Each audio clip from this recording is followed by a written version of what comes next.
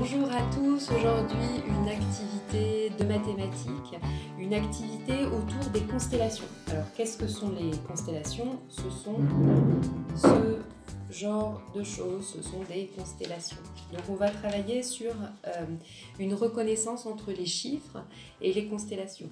Je vous recommande bien évidemment de commencer par la reconnaissance des chiffres 1, 2, 3 et de, de commencer effectivement, si vous voulez poursuivre, par la reconnaissance des constellations 1, 2, 3.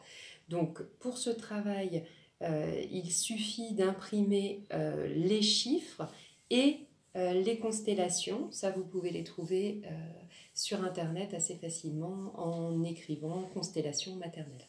Je vais vous présenter l'activité. Euh, j'ai sorti là les chiffres 1, 2, 3, 4 que j'ai mis en ordre pour le moment. Vous pouvez commencer pour les plus jeunes par 1, 2, 3, même par 1, 2. On n'est pas obligé de tout faire dès le démarrage. Donc là, on va travailler avec les constellations. Donc, je mets les constellations comme ça et je vais commencer par dire on va compter celle-ci. Alors l'enfant va faire 1. Est-ce que tu vois le 1 dans les chiffres? Oui. Donc on peut le mettre au-dessus. Ensuite, on va compter celle-ci. 1, 2, 3, 4. Est-ce que tu vois le 4 Ici, on le met là. Ensuite, on peut continuer. Donc le 2, ici, et le 3. 1, 2, 3.